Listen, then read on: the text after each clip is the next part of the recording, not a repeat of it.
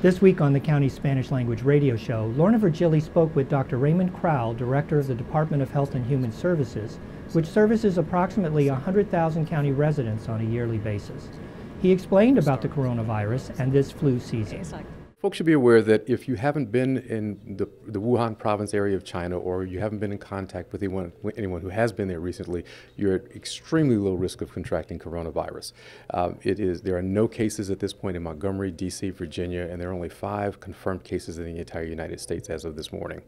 Uh, the, the, symptoms are so, sim- are so similar, um, you know, watery eyes, runny nose, headache, etc., that this, the precautions um, that you would take for flu will also keep you safe from, from coronavirus. If you've, if, uh, if you've had a, uh, been in contact, wash your hands, don't touch your face, uh, cough into a tissue and dispose of it. If you're ill, contact your doctor or stay out of, out of the public uh, and stay home when, you, when, you're, when you're not feeling well.